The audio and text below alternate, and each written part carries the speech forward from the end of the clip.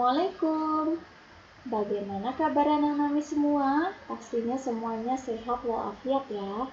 Nah, hari ini kita akan mengikuti pembelajaran pendidikan agama Islam dengan materi kita hari, hari ini adalah Allah Maha Suci.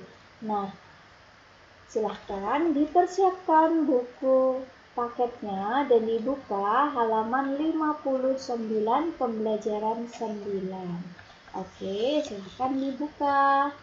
Next, sebelum kita belajar, marilah kita berdoa terlebih dahulu ya. Oke, doakan Mas Pimpin. Bismillahirrahmanirrahim. Rabbi zidni ilma warzuqni fahma. Amin. Oke.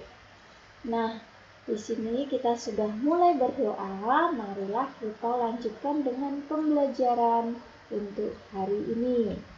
Nah, tujuan pembelajaran kita hari ini adalah memahami Asmaul Husna, khususnya adalah Al-Qudus ya.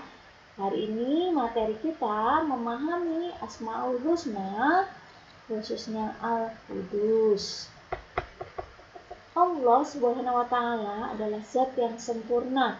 Artinya adalah suci dari segala sifat yang dapat dirasakan oleh indera, dibayangkan oleh khayalan, didahului oleh prasangka yang terlintas di dalam hati.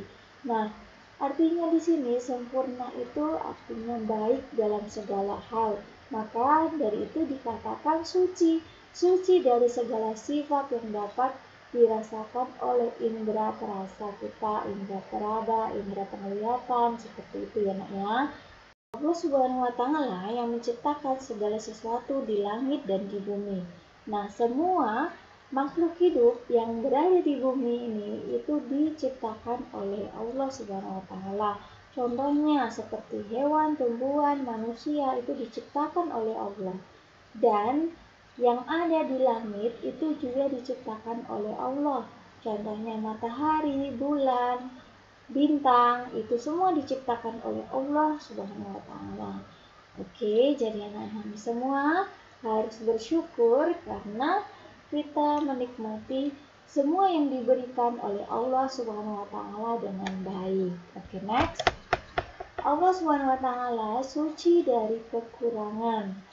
Allah SWT suci dari kebinasaan. Nah, Allah itu suci ya, suci dari hal-hal yang tercela. Jadi mulai dari kekurangan, mulai dari kebinasaan atau e, hilang atau tewas itu tidak ada ya. Jadi Allah itu maha suci. Nah, di sini sudah disediakan Subhanallah. Nah, maka kita harus mengucapkan subhanallah. Artinya, maha suci Allah yang memiliki kesempurnaan. Nah, Allah itu sangat sempurna. Jadi dalam semua hal, Allah itu sangat sempurna. Karena kita mendapatkan nikmat dari kesempurnaan Allah, maka kita harus mengucapkan subhanallah. Nah, seperti itu ya nak ya. Itu adalah cara kita kagum kepada Allah Subhanahu wa taala atas kesempurnaannya. Oke, okay, next. Allah Subhanahu wa taala Maha Suci sehingga memiliki sifat sifat Al-Qudus yang Maha Suci ya. Artinya Al-Qudus adalah salah satu dari Asmaul Husna yang artinya Maha Suci. Selanjutnya, Allah SWT menyukai orang-orang yang mensucikan diri. Firman Allah dalam surat Al-Baqarah ayat 22 berbunyi, Inna allaha yuhibbu tuwadina wa yuhibbul mutatahirin. Maksudnya adalah sesungguhnya Allah mengasihi orang-orang yang banyak bertaubat dan mengasihi orang-orang yang senantiasa mensucikan diri. Nah, mensucikan diri berarti membersihkan diri.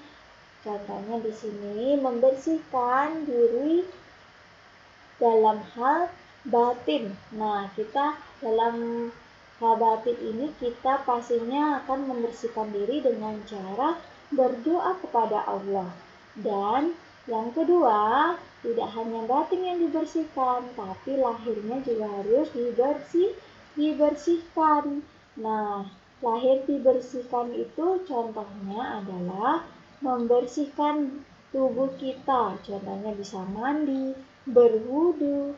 Nah, itu contoh-contoh membersihkan atau mensucikan lahiriah kita. Oke, anak-anak ini semua, untuk tugas hari ini silahkan dikerjakan. Ayo berlatih halaman 61 ya. Nomor 1 sampai dengan nomor 3. Oke, jangan lupa di-share ke Miss ya untuk dinilai. Oke, sekian yang bisa Miss sampaikan. Semoga yang disampaikan dapat bermanfaat bagi kita semua. Terima kasih. Wassalamualaikum warahmatullahi wabarakatuh.